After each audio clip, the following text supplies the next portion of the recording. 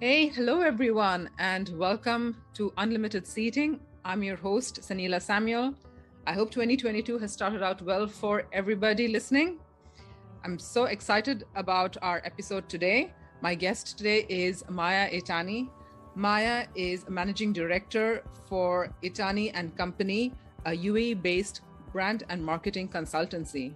Maya is also the co president for the Dubai chapter of Ellevate Network. Maya, thank you so much for being here with us today. Thanks for having me. Uh, podcasts like this are so important on so many levels, and I'm honored to, to be invited. Great. Hey, Maya, I, I am looking forward to, all, to you sharing all your experiences with us today. So I'm going to get started, right?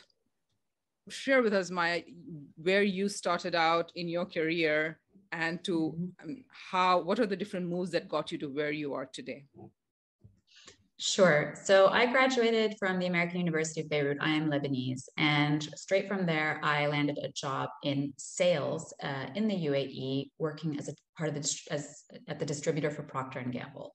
So I'm a marketing major, but it was always recommended to us to actually begin in sales to truly see how the consumer behaves on the ground. And so that was a fantastic introduction to the UAE market to really see. I, I was managing Spinneys at the time as my client, so handling the beauty portfolio for Procter and Gamble in all of the Spinneys outlets in the UAE. So I saw a lot, you can imagine. And it was a fantastic experience. And within a year, I decided, okay, I've gotten my taste in sales, which had really sharpened a lot of my skills. And uh, now it's time to go into actually what I studied, which was marketing. And then, so there, I moved from um, my current role into a role with Beiersdorf, the skincare giant that has brands Nivea, Labello, Eucerin, La Prairie, uh, it's a and uh, there I truly learned and immersed myself into the marketing FMCG world for the next few years. I mean, these were the formative years of my career where I really learned how to uh, how brands are built from A to Z, how we you know start from consumer insight all the way to a product launch, roll it across markets. I was handling up to 69 markets at one point in my career. Everything from, you know, I was I was uh, handling Turkey and South Africa and trying to, you know, obviously with a global brand, you have to understand how do I roll out the same product to two very different, you know, not just two very different markets, 69 very different markets without, you know, applying stereotypes, etc. So that was a fantastic phase in my career. Um, you know, FMCG is a school for anyone who's been in it. That's what we always say. And after a while, I, I was feeling a bit burned out. I was, you know, um, in my mid 20s, and uh, it sounds really silly now to say in my mid 20s I felt burnt out, but you know, when you're in high school and university, you really focus on your extracurriculars as well as what you do at school you really think about uh, who am I outside of my career, uh, outside of my high my, my educational career.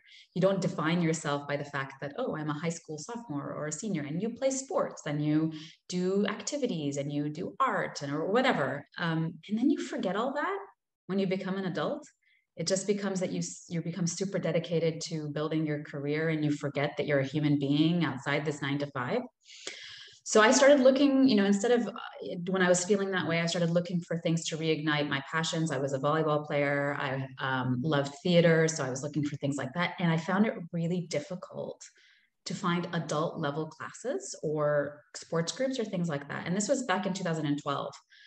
So there I kind of had the spark of an idea of creating a platform in which we could collate all of the different adult level classes to really encourage people in the UAE to remember who they are outside of their nine to fives.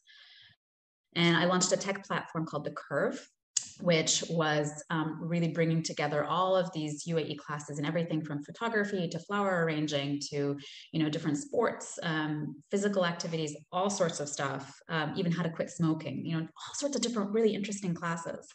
And we created a tech platform, and I ran that for multiple years, which was an excellent experience. I call it my MBA because it was really my first taste of entrepreneurship. Um, I did end up leaving my corporate job at the time to pursue that full time and dove into the unknown. You know, tech wasn't a big thing back then. Uh, being a female founder in tech was a completely different world. Um, and I learned a lot. I learned a lot about business development, about building a brand from scratch. And that was my first experience as well, not working for a multinational. Right. It was really a big step to go away from being part of a big brand and being able to introduce yourself as, hey, I'm so and so, I work for this massive company that gives you automatic clout. Yeah. Whereas when you step away and you start your own business, it's like, who are you again? and it's, it's like, I literally am the same person I was yesterday. But because I stepped away from this massive multinational, it, you have to rebuild from scratch. Um, and so while that was an amazing experience, um, I, I, didn't really feel at home in the tech world. I didn't uh, want to continue my career in that in that uh, way, even though the business had been accepted into an accelerator program. We had won awards. It was, I mean, it was fantastic. It was on a great trajectory, but I was really longing to return to marketing.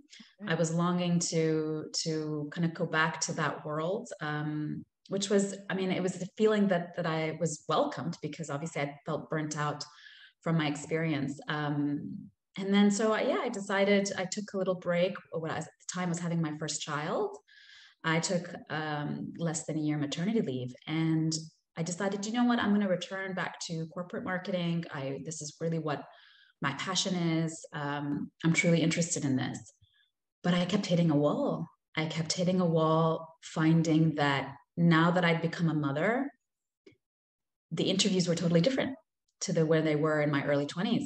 Um, the questions that I was being asked about how I plan to return to work, how my child is being taken care of. I mean, these are mind blowing questions that I was being asked in interviews. So, very, very blatant, um, you know, gender biases, uh, straightforward, you know, uh, prejudice.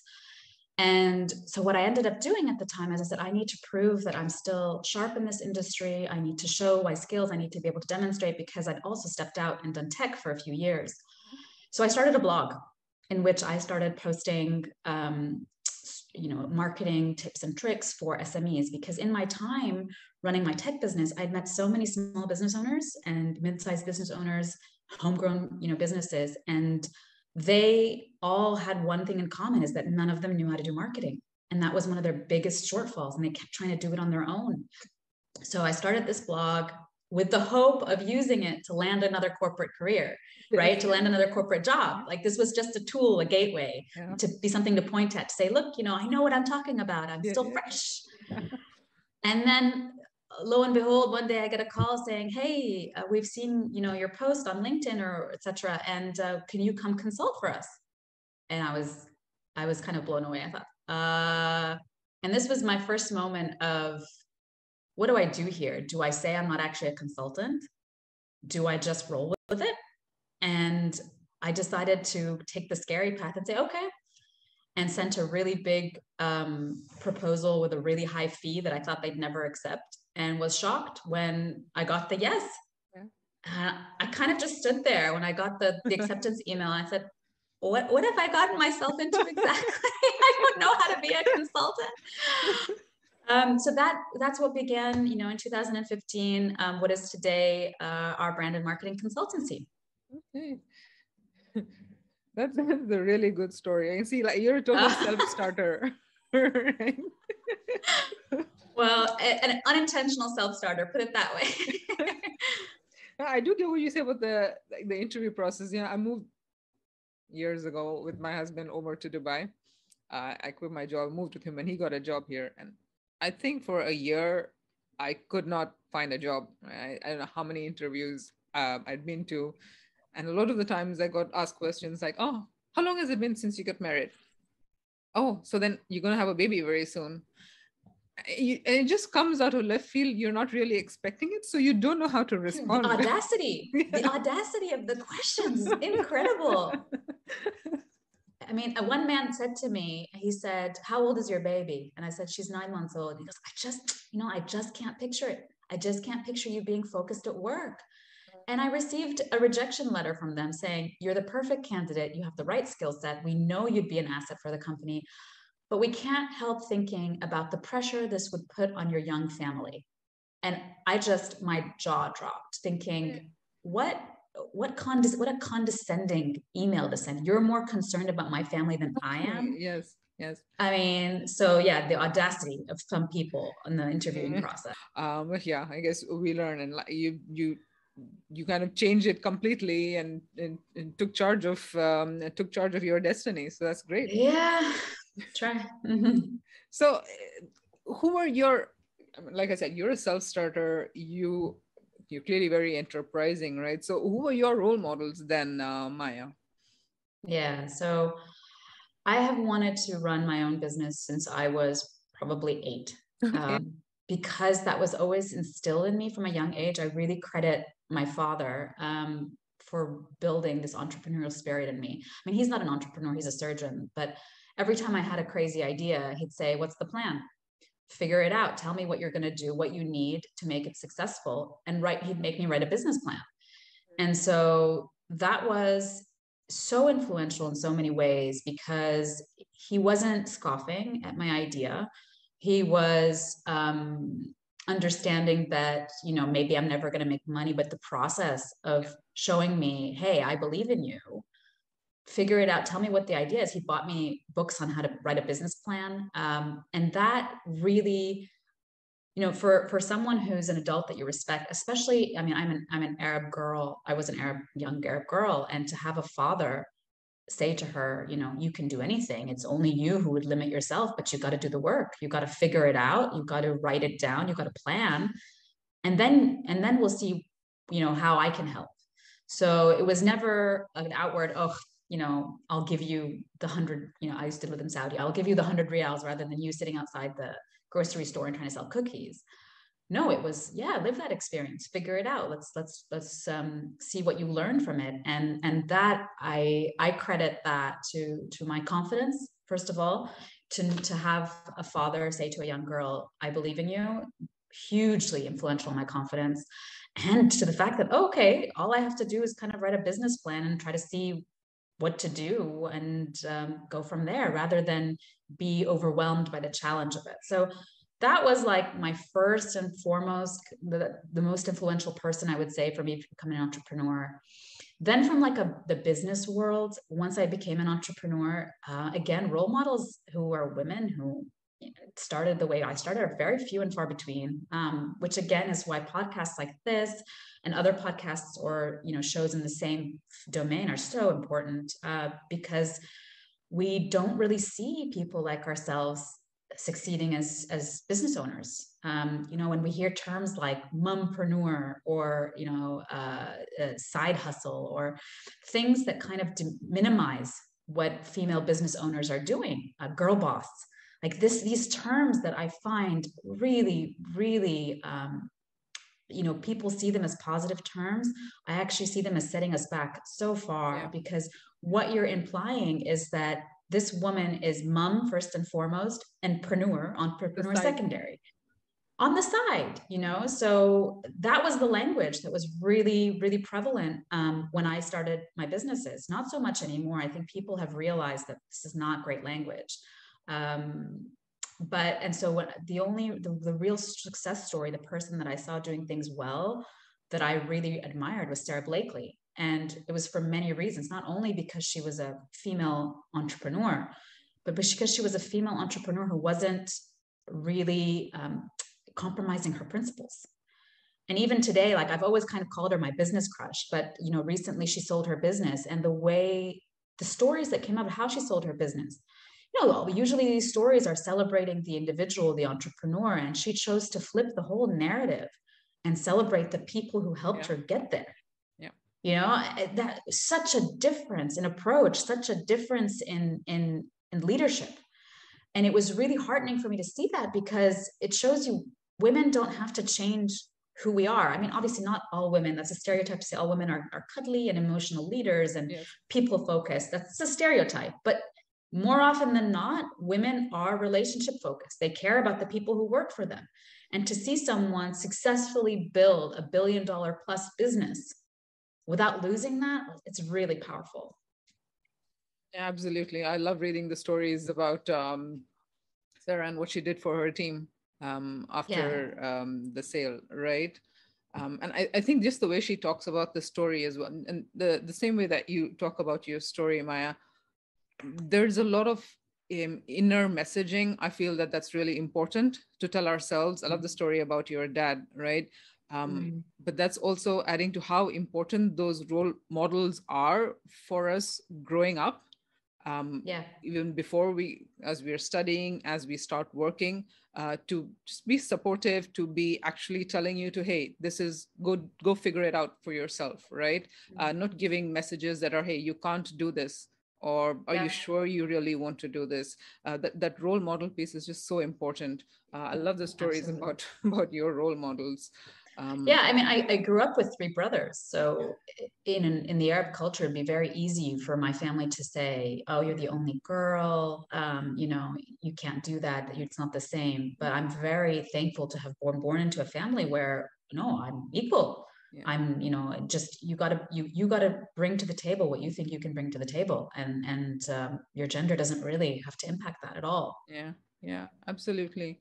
And um, I always talk with my guests about feedback, um, right, Maya? So for you in your career so far, what's been, how have you kind of gotten feedback? Is that harder now that you're an entrepreneur to get feedback? Uh, and so what's the toughest feedback that you got personally and how did you respond?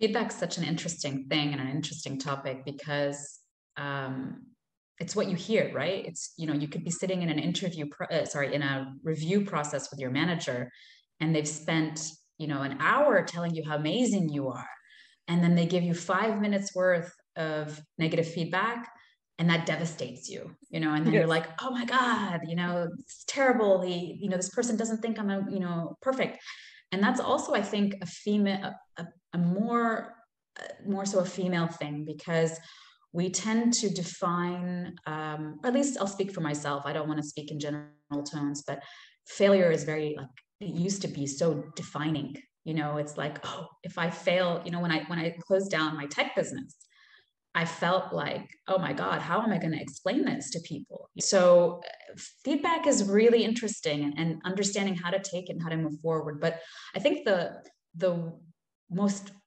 the worst piece of feedback I've ever gotten was that I was too ambitious. And I was given that feedback in an interview process um, where I was interviewing for a large FMCG company um, right before I took my first job, my job with Beiersdorf. And so I had, you know, a year under my belt, two years under my belt of work, and I was, uh, I passed two two levels of this interview process with flying colors. The interviewers loved me, I met the last part, the third person, and his feedback to the company was no, don't take this person. She is too ambitious for our company. And this is a large global FMCG yeah. company. And so when I heard that from the recruiter, I said, I said, what? I'm too ambitious for their company? What does that, what does that mean? And so after a lot of back and forth, the first two interviewers overturned the third interviewer's decision saying, you're crazy. Like we, we want this candidate. She's great. And so they came back to me and said, you know, actually, we withdraw that rejection and we want to ask you back again. And my response was, if there's someone within your in, your business that that thinks I'm too ambitious for this company, I'm a bit worried. What is what does that say about the company? And so in that moment, at first it was like like really impactful for me. It's about me. And then I thought to myself, no, this is about you it was a, reflect, a filter of the way he saw the world, the way he saw the company, the filters. And that's one of the biggest things I've learned in my career. And it's um, part of a book called The Four Agreements. Yeah, so it's the four agreements to a happy life. And, and one of them is never to take anything personally because people say things in the way they view the world through the yeah. filters that that color their life. And you know people could say be saying something to you because they had a bad day because you know they had different expectations. It's not easy to to apply but definitely in that situation i was like yeah i'm not going to taper my ambition because one person one company was felt too small for me. So i think that was the most interesting feedback i'd ever gotten yeah, that's that's a good story and I, I think this ambitious thing i have a couple of guests who said the same thing around the feedback that they got on being um, very ambitious, very very driven. Um, yeah. That's interesting, and that's a good thing about feedback, right? Is when is the same thing I tell my team. I say feedback is a gift. Uh, sometimes mm-hmm. what I do with my team is I try and get um, feedback from maybe different people who've interacted with them, Um, yeah. It's very strange sometimes that just the range of feedback you get about one person. Um, and w- what I tell uh, my team is, I'm sharing this with you very transparently, but it's a gift. You decide what you want to do with it, right?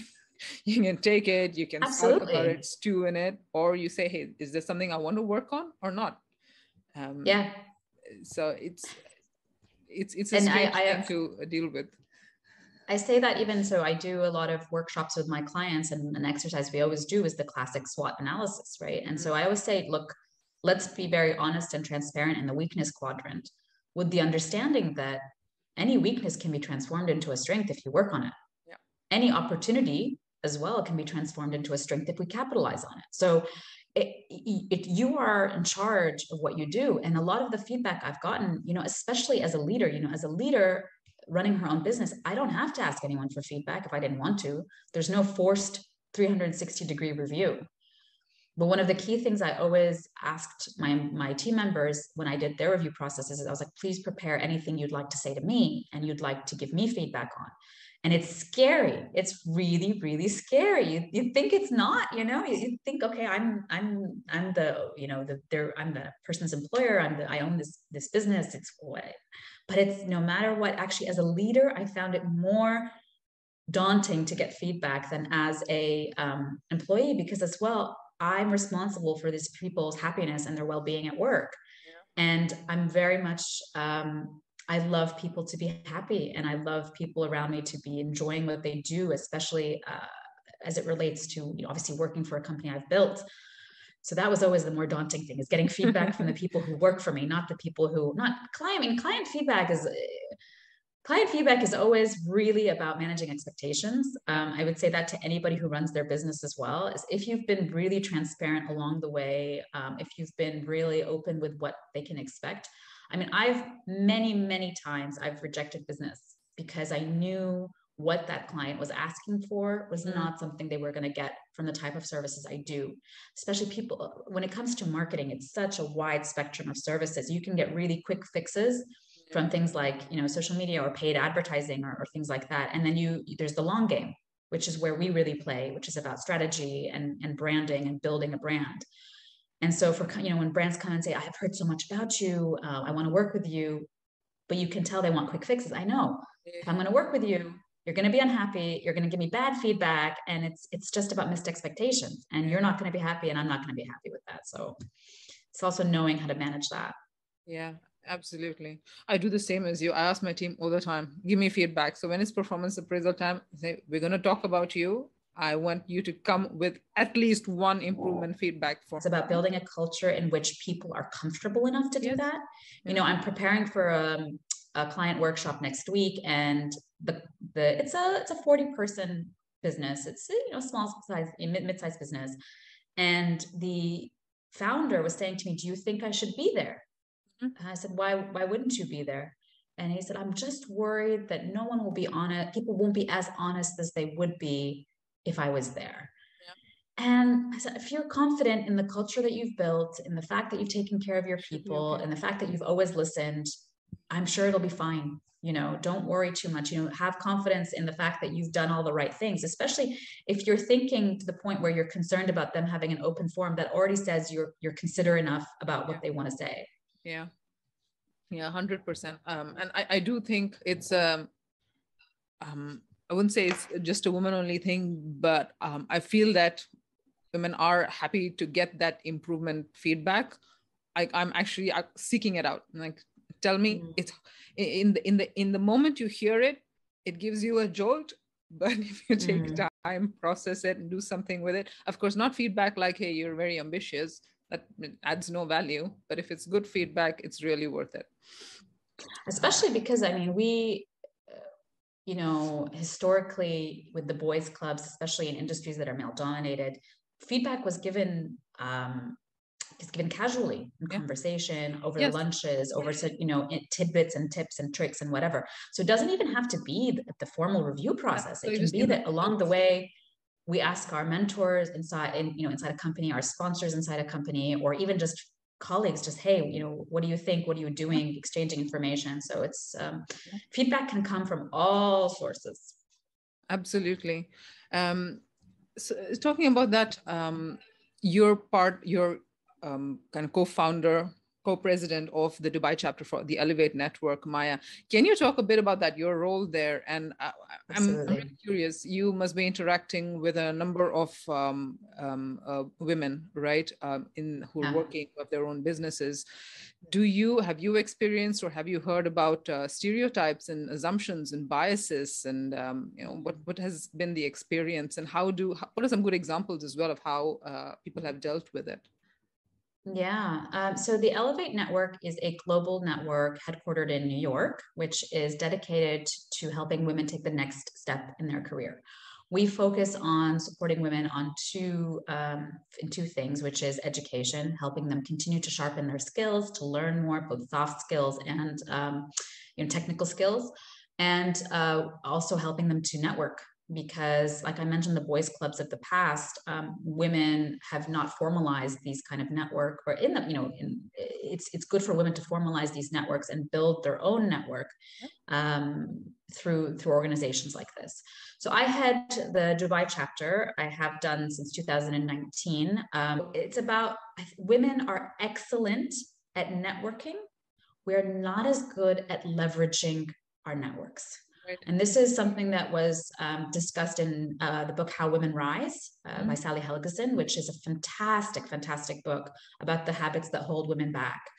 And we we love people. We love to build. I mean, for the most part, women love building relationships. We love growing our networks, but we don't ask anything of our networks we find it we're embarrassed to send someone an email say listen i'm looking for a job or i need you know my business is struggling today and I, I you know i would love an intro to anyone you know who could use this i found even at the beginning of of when i started my business i would talk to strangers happily about what i did i'd really be embarrassed to talk about it in front of my friends you know because it's like this this humble you have to be humble yes. not not dominate a conversation not talk too much about what you do there's so many intricacies to why we feel that way but so that's one thing that we aim to break down at ellevate a lot is ask ask your network ask your network and um, I'll tell a little anecdote before I, I, get back to more about ellevate and about asking. But my first time as a manager, uh, when I was again at, at Beiersdorf, I had a, a my first reportee was a was a was a man, was a male,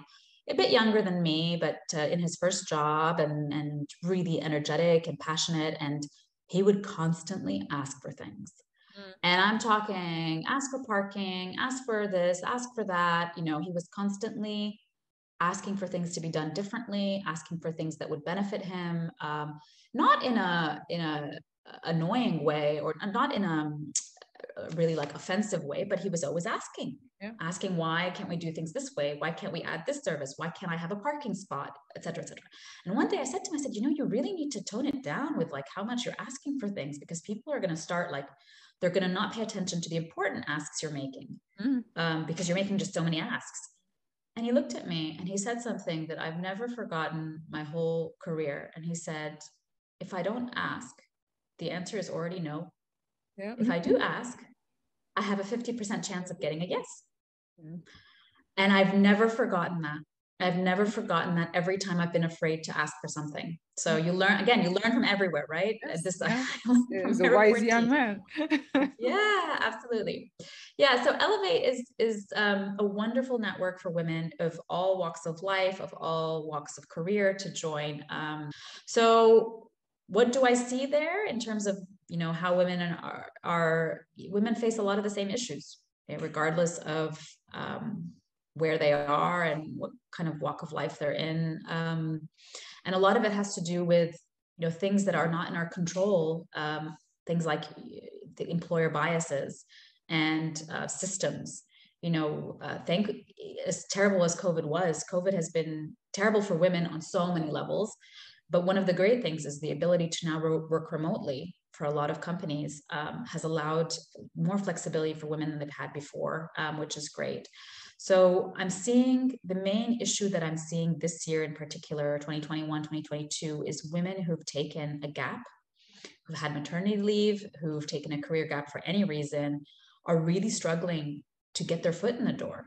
They're not struggling when they get in the interviews. They're not struggling when they actually get the job. Yeah. They're really struggling to even be invited for an interview. Okay, um, that's uh, that's interesting. i have I've heard this before as well. Um, and I know uh, my company, uh, G, had started um, a few years back. We did this um, program called, I think it was Return to Work or something like that.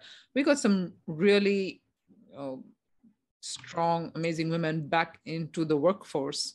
Um, and I think companies just need to do more of that, like actually understanding that there is that segment of women, right? You took a break for some reason or the other, uh, but they have great experience, um, uh, strong credibility. How do we bring them back into the workforce? And you know, it's sure. going to be an it's, asset. It's a it's a huge loss of productivity yeah. of, of talent for an economy if women are are moved aside and so you'll see um, you'll see organizations like women at work um, that uh, that that dedicate themselves to helping women uh, yeah. get back into the yeah. corporate world or get back on their you know get back into the, the corporate ladder after a break um, but the fact that it has to be such an active effort it really does you know there have to be these return to work programs you know it's we can't put the onus on women only to change the way you are lean in and, and yeah. get out there and and you know put your hand up women are doing all of that they're yeah. banging on the door and we, we we just need you know we need the door to be opened and and that's why i really push back on the phrase women's empowerment, which still today is used so often. Women don't need to be empowered. Correct. Women don't need to be empowered. Give us space. Give us space to to um, to be, to show what we can do. Give us a seat at the table. Um, we, I don't need you to empower me. I have a lot to say. I have a lot to contribute. Absolutely. Um, I think you know um, you said something very uh, good, right? You said we actually don't sometimes we, we shy away from leveraging our networks. I think I, I do that mm-hmm. personally as well. Um, and you know, I'm curious. You are a business owner, right? You obviously have to go out there and sell and market your business. Does that yeah. come to you naturally? Did you have to work on it? Aha as a marketer as a marketer marketing her business right? We always have a saying we have a saying in arabic that the carpenter's door is always broken right? So um, yeah of course. I mean b2b business development is very different to a b2c like business to consumer um, marketing. So it was definitely a learning process along the way um, because it also it, it you know people talk about shameless self promotion you know, when I started, I was an individual consultant and I was just someone who had no track record and I was having to put out blog posts and pose myself as an expert and show how I understood. And, you know, for some people, it's like, well, who are you? But you have to keep at that. And, and, and also, even if people never had any negative feelings about that, you tell yourself, ah, oh, who am I to be putting out all of this stuff and to put, portraying myself as an expert, especially when, you know, when you're first starting out um, so I've been very, very, I don't want to use the term lucky because it has to do with performance, not, not only luck. I was lucky in the sense that I got that first consulting gig. Um, but that was based on what I use, uh, what I call inbound or what is called inbound marketing. So inbound marketing is the process of creating marketing content that is valuable to your audience, that positions you as a thought leader, and that basically you serve as a lighthouse for others who are seeking what you offer. So rather than you chasing clients, you stand in your place, you put out all this content that showcases your expertise and what you can do. You're clear on your messaging. And that's really, really important is that you know what you want people to perceive you as and to know about you. Um, and, and then people over time, after hearing these messages time and time again, will start coming to you. So that's been the process that I've really followed. I focus a lot on content creation. I focus a lot on doing speaking events, um, doing, uh, you know, I, I, do a lot of video content creation. I do a lot of written content creation. I contribute to magazines and to newspapers about marketing. I, am on the radio. Uh, so I do a lot to to position myself as a thought leader to showcase my expertise. Uh, and so what I've done is always said, okay, what are the companies that I really want to work with that I think I could really benefit, that would be dream clients? Write all of those down and find a way to pitch them. Find a way that I can add value and approach them about that and see if if I can find someone within my network who can introduce me or just go directly cold emailing or cold contacting which is definitely not the best approach. Usually I, I try to have someone introduce me which is um, always more successful. But yeah it's it's um, a, a, different mentality. You have to be really accepting of having the door close in your face. And I, I again i referenced Sara Blakely of spanx and how often she was told no no we this is a stupid idea no it was like i think she she it was like over 200 times that she was told no by factories they didn't want to produce it so you have to get really comfortable with the rejection really comfortable with rejection I like how you you kind of you stuck to your style, right? Um, you said you you you contribute a lot to magazines. You're kind of putting original content out there. Um, so I think what I'm hearing is you're staying true to yourself. You're not trying. You're not trying to be inauthentic, step out of who you are just to go and get that business, right? Get that new client. Uh, you're finding your own way to do it. I think I don't think it's about authenticity as well. Um, you know, I think I've always been. I started my blog back then, which was called the Marketing Spark, to help businesses Mm-hmm. That was my goal. You know, my goal was to put out educational content that would help somebody. Yeah. And um, that's always been part of my education's always been a big part of my business ethos. And so I I really believe as, as a marketer, I say this is that if you've really identified an audience, you know who your audience is, um, and you know how you can benefit them, and you pair those two things. That's the core belief. That's the core function of marketing. You know, marketing isn't just about advertising. Marketing is about the seven P's of marketing product, price, place, promotion. I won't rattle them all off. And it's about finding the right product for the right people at the right pl- price, at the right time, in the right place, all those things. It's making the perfect package. Yeah. So if you know who your audience is and you're putting out really authentic, of course, and, and truthful and helpful content, yeah. people will see that and, and they will gravitate towards it and they will you know i uh, i spend a lot of times answering questions on forums and somebody asked me why do you do that for free mm. you know you these people are you know you could you it's your time yeah. why do you do speaking events for free i do a lot of free speaking events and they say you know you could be charging and i say you know one i've can't tell you the number of times I've gotten emails. And when I ask people, how did you hear about me? These are cl- people who become clients. Yeah. They say, I noticed you always answer questions on the forums, like this specific forum. I noticed that you were always helpful. You don't gatekeep information. You know, you really try to be helpful without asking for anything in return. And that appealed to me. And this is a person I've never interacted with before. It's not someone whose question I answered. But again, because you're trying to actually be helpful to your audience, they see that. Okay. That's uh, that's a really good uh, insight there, Maya. I just love how you're combining your you know personal ethos along with your uh, something that you're passionate about, right? So it's not yeah. just it's it's not always about this is what I get paid to do. It, I mean, it, it comes back, right? Yeah, it comes yeah, back. Exactly, so um, I have to acknowledge that I'm fortunate enough to be able to financially not have to charge for things like that. You know, other people are not in that position, so I do acknowledge that.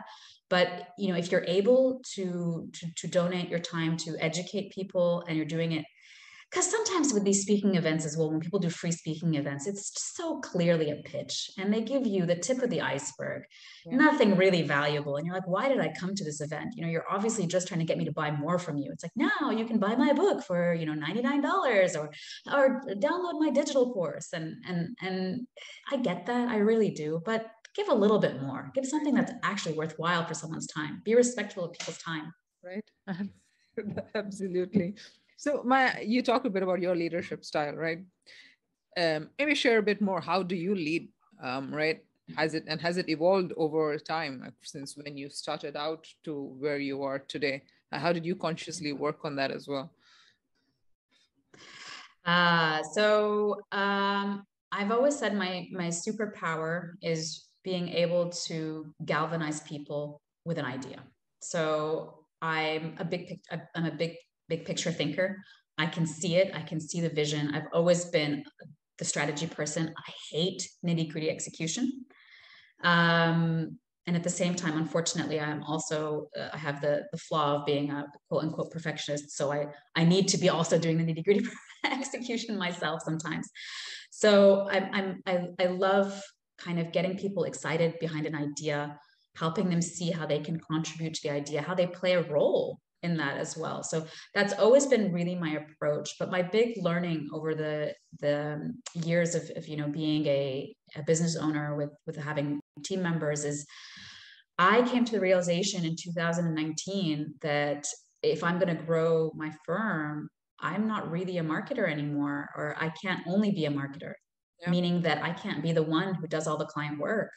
I'm a managing, you know, director. I'm the person who's managing these people. I have to care about um, how they're growing, their skill sets, how they're growing personally and emotionally, how they're feeling.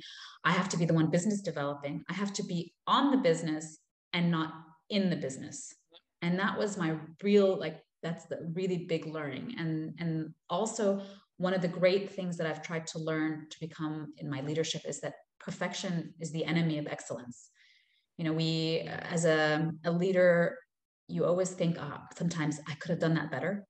I can do that better. I'll do it myself. And women more so than men have been proven to they um, they try to do too much. Uh, you know men try to do more because they're afraid of like losing power and control. Women do more in their companies because they're just like i can do it better.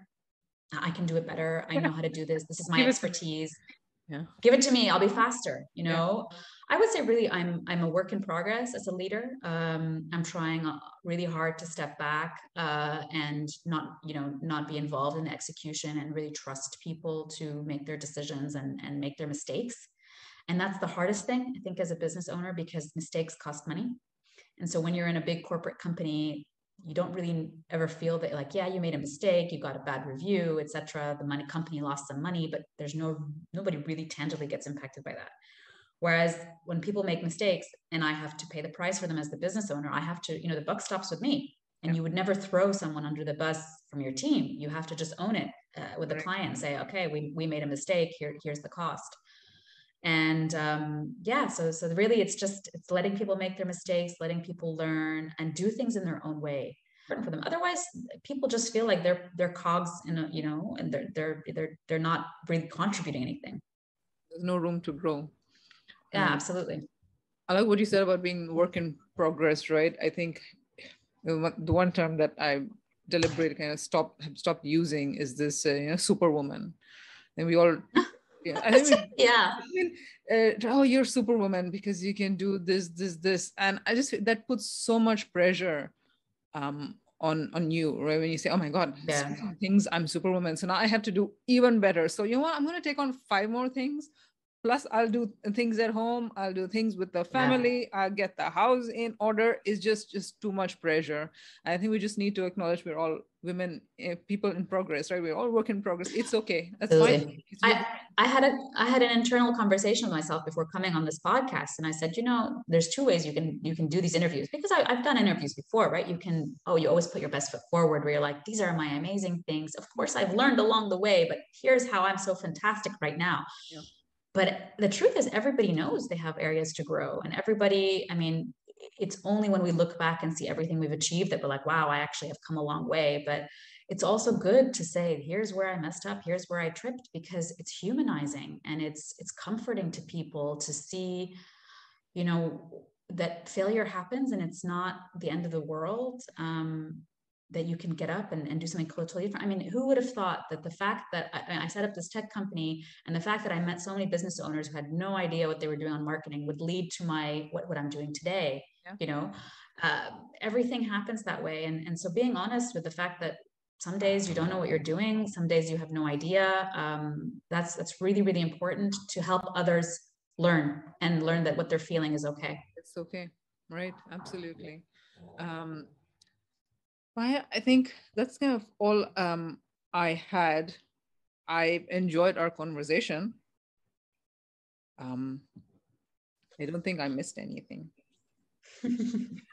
no, I think we've had a really great. I mean, I'm I'm looking at the time, and time has flown by. It's been over an hour. We've been chatting. uh, you, you had some really good stories. I love how you walked through your experience. You, you, uh, some really good uh, insights in there. Thank you for sharing your experience you. with us, Maya. You're welcome. And another hum- another humanizing thing as well. I have a three year old knocking on the door right now, trying to get into my office. You know, so don't worry, people. If you're also on an important call and you know you have your little child as knocking on the door, it happens to everyone. Who doesn't like to see a cute little kid? yeah. We'll see. I'm glad I locked the door, so it's okay. but thanks a lot, Maya. I really enjoyed our conversation. I'm sure our audience will as well. Uh, and Thank have a great rest of your weekend. You too.